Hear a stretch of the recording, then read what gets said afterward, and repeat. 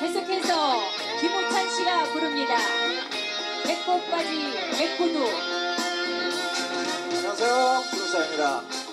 박수 치세요. 그냥 앉아 계시지 말고.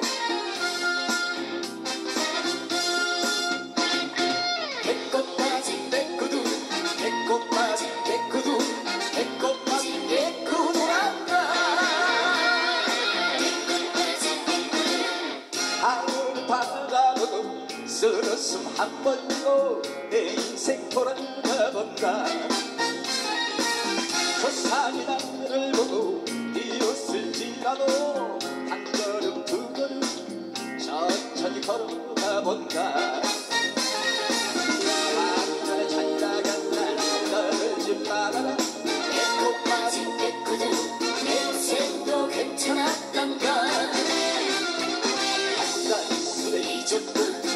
두 잔술에 지웠다 내가 숨은 하늘이란다 그래 웃자 그래 웃어